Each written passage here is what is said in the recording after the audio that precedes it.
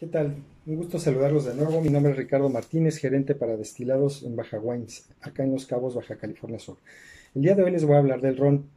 Y como todos sabemos, el, eh, ron requiere como un eh, líquido fermentable el jugo de la caña.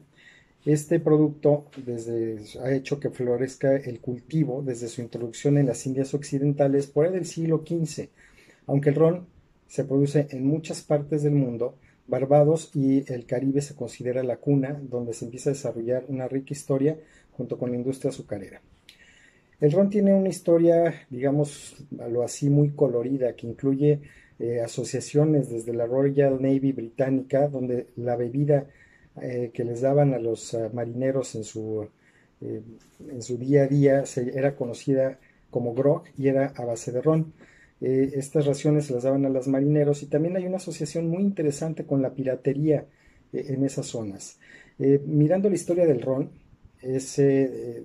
hay muchos hechos oscuros. El ron no era un producto de la esclavitud y viceversa. La esclavitud era un producto del ron. No fue así hasta después de los 1800 que se impusieron los embargos en el comercio de los esclavos que la ruta comercial es abandonada.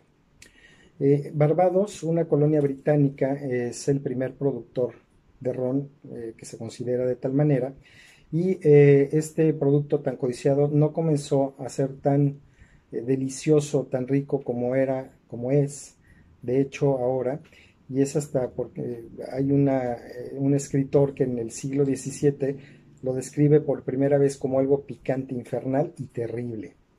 unos años después se descubrió que el método de envejecimiento en barricas suavizaba eh, de manera importante este aguardiente. Eh, pronto los rones se iban a describir como más suaves en la lengua a medida que envejecían en barricas de roble. El ron se produce, como les decía, a partir de la caña de azúcar y sus eh, subproductos, definiendo ciertas especificaciones. Debe ser un alcohol producido a partir de la fermentación y destilación de las melazas, jarabe producido en la producción del azúcar de caña. Eh, el jugo de caña también se, utiliza y eh, recibe el nombre de agrícola. Ron agrícola es una subcategoría, eh, repito, es un ron producido del azúcar, del jugo de la caña, perdón, en bruto.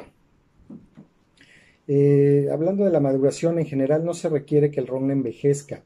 El destilado es tal como sale del alambrique, puede reducirse mediante la adición de agua su, su fuerza alcohólica y embotellarse de inmediato. Esto nos da como resultado el ron blanco, eh, que no tiene ningún tipo, ningún tiempo de envejecimiento.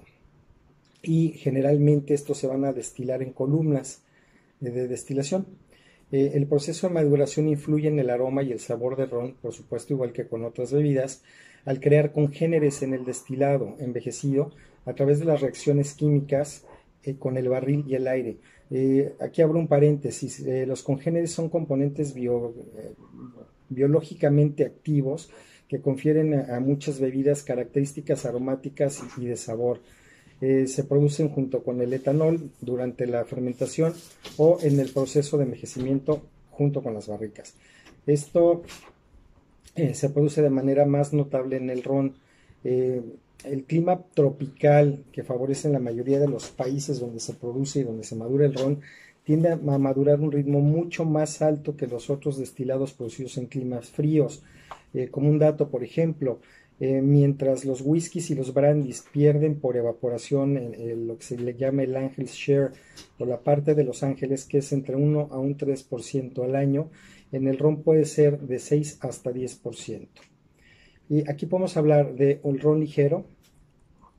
Sí, el ron ligero se elabora eh, con la fermentación rápida, que dura de 12 a 36 horas en alambrique por destilación continua, como les digo, es el denominado comúnmente ron blanco. No se necesita envejecer y es el más vendido. Eh, estos son eh, de los rones más característicos de Cuba y de Puerto Rico. Eh, posteriormente vamos a hablar del ron añejo, que se elabora mediante fermentación mucho más lenta, que puede durar hasta 12 días y se destila eh, generalmente en alambriques simples. Envejece en barricas de roble y es característico eh, más de Jamaica. voy a mencionar rápido otra vida que es, es la cachaza, es digamos el ron brasileño producido a partir de la caña de azúcar también. Es, eh, es un destilado muy popular, entre 180 millones de ciudadanos de Brasil se tiene un estimado que lo consumen, por lo que es uno de los eh, aguardientes más consumidos en el planeta. La cachaza ha sido reconocida como un producto distintivo de Brasil por la Oficina de Comercio y Alcohol de los Estados Unidos. En México podemos hablar de eh, grandes rones y me voy a referir eh, a tres etiquetas de ron que podemos conseguir en Baja Wines. Uno es, el, hablando de un ron agrícola, se llama Paranubes y se elabora en la zona alta Oaxaca. Tenemos también el el ron Aconte, que tenemos blanco eh, de 3 años y de 5 años, disponible también de la zona del estado de Michoacán. Y tenemos de Veracruz el ron La Gloria, donde ellos han hecho lo que se hace eh, últimamente muy de moda con el tequila. Tienen un añejo cristalino y un añejo. Eh, pueden consultar en nuestra página www.bajawainscabo.com la lista completa de destilados, entre los cuales, por supuesto, están los rones que acabo de mencionar. Eh, por mi parte es todo por hoy. Les agradezco mucho su atención y quedamos en contacto para una próxima edición. Muchas gracias.